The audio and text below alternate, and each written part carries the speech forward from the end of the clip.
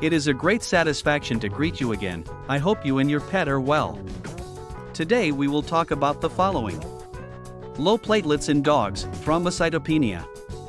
Thrombocytopenia is a decrease in the number of platelets, also known as thrombocytes, circulating in the blood. What are platelets? Platelets are produced in the bone marrow and circulate in the blood. They clump together to seal broken or leaking blood vessels to prevent blood loss. They are an important factor in the blood clotting mechanism, and thrombocytopenia can cause spontaneous bleeding or bruising. What causes thrombocytopenia? Severe or prolonged blood loss, increased internal destruction of platelets, or poor bone marrow production can lead to short term, acute, or long term, chronic, platelet deficiency. Are there any diseases or conditions associated with thrombocytopenia? Many serious diseases have thrombocytopenia as one of the components of the condition, including the following. Infectious diseases such as parvovirus, canine infectious hepatitis virus, canine distemper, leptospirosis, many tick-borne diseases, immune-mediated diseases. Cancers. Medications including estrogen, cephalosporin antibiotics, sulfa antibiotics, inhibitors, and various chemotherapy drugs. Toxins and poisons. Is thrombocytopenia common in dogs? Thrombocytopenia is quite common. Some surveys have shown that up to 5% of all dogs admitted to veterinary hospitals have a low platelet count.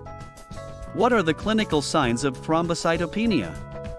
Severe thrombocytopenia can cause abnormal bleeding that appears as small red spots on the skin or gums, ecchymosis, which are larger bruises, urine, vomit, or bloody stools, tar-colored stools fast heart rate, rapid breathing, lethargy, weakness, or collapse.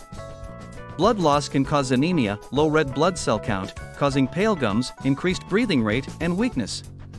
Many dogs with thrombocytopenia will not show any obvious signs, which is why blood tests are so important. How is thrombocytopenia diagnosed? This condition is easily diagnosed with a blood test. Platelet counts are often done along with a complete blood count. Platelet counts of less than 20,000 to 30,000 per microliter of blood, normal platelet counts are 175,000 to 500,000, make spontaneous bleeding likely.